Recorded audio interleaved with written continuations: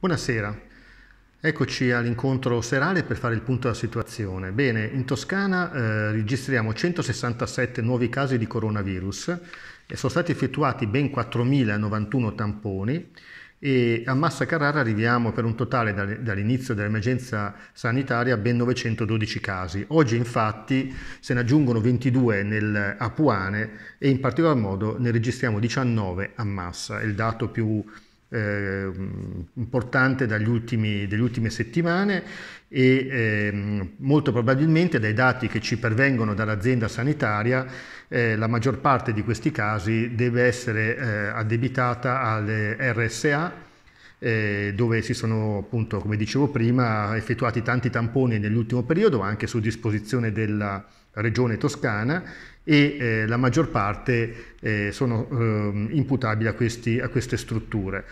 Eh, per fortuna eh, non risulterebbe ad oggi nessun eh, caso positivo per quanto riguarda la Casa Ascoli e la RSA Pelù. Il bollettino ASD non registrerebbe ad oggi, salvo il vero, alcun decesso a massa.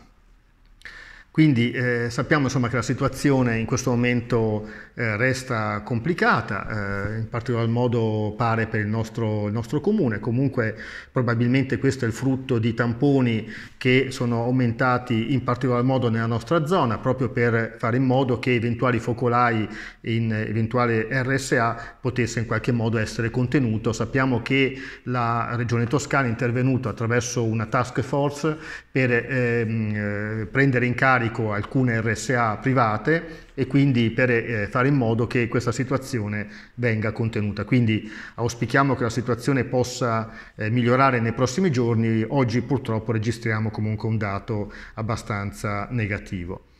Ehm, il, inizierà anche una comunicazione importante che inizierà eh, anche la distribuzione delle mascherine monouso da parte della regione toscana, che avevamo già annunciato nei giorni eh, passati, ed è stata disposta eh, la distribuzione sempre a tutte le persone eh, di età superiore a 6 anni e al momento eh, si eh, ipotizza, si eh, dovrebbe realizzare attraverso le farmacie pubbliche e private e anche attraverso la grande distribuzione con confezioni da 5. Quindi ogni persona che si recherà nella grande distribuzione delle farmacie potrà ricevere gratuitamente eh, una 5 mascherine ehm, presentando la tessera sanitaria. A maggio ci viene detto che, e quindi per i mesi successivi, eh, le mascherine saranno date in un numero minimo da 10 a un massimo di 30. Questo per consentire a tutti coloro che ne hanno eh, necessità di poter uscire eh, sicuri dalle proprie abitazioni, anche se la raccomandazione è sempre quella di, come vedete, di ehm, mantenere grande prudenza, eh, isolamento eh, sociale, eh, possibilmente uscire il meno possibile e quindi continuare la protezione individuale perché in questo modo riusciremo a contenere anche il contagio.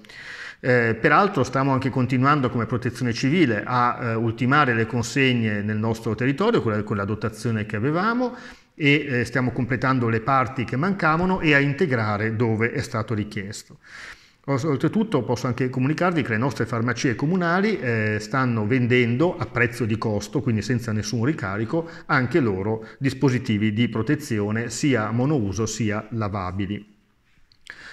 I buoni alimentari. Abbiamo coinvolto, come avevamo annunciato nei giorni precedenti, anche i negozi di vicinato, la lista quindi delle, dei negozi si sta, a, sta aumentando e, ed sta, e, tutto viene pubblicato ogni giorno sul sito con gli aggiornamenti delle nuove strutture, che si, eh, nuove attività che si eh, convenzionano con il comune. Tant'è vero che abbiamo incominciato anche a consegnare i buoni spesa in taglio da 25 e da 50 euro, spendibili in tutte le attività commerciali, comprese anche la grande distribuzione distribuzione e comunque quelle convenzionate che come vi dicevo trovate sul sito web del comune.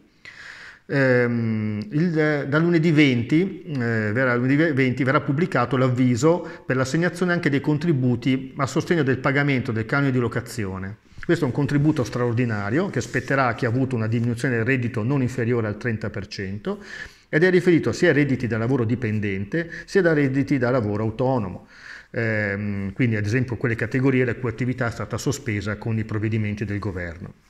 Le domande potranno essere presentate dal 20 aprile al 9 maggio mediante PEC raccomandata R, invio per posta elettronica alla casella appositamente creata contributo affitto chiocciola comune.massa.ms.it o per fax al numero 0585 41 245 direttamente online non appena sarà disponibile. Avviso e domanda potranno essere consultati e scaricati dal sito del comune oppure reperiti nell'area esterna dall'URP. Mi raccomando, questo da lunedì 20.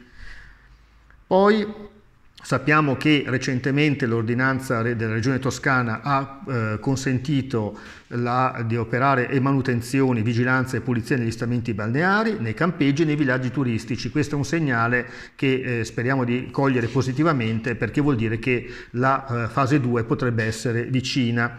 La stessa cosa vale anche per i cantieri navali e altre attività. Oggi sappiamo anche che un incontro con il Presidente della Regione Toscana con le attività eh, imprenditoriali eh, finalizzate all'esport consentirà probabilmente anche nei giorni della prossima settimana di aprire altre attività e quindi anche questo sono segnali che comunque sono incoraggianti, anche se la raccomandazione è, sempre la prudenza.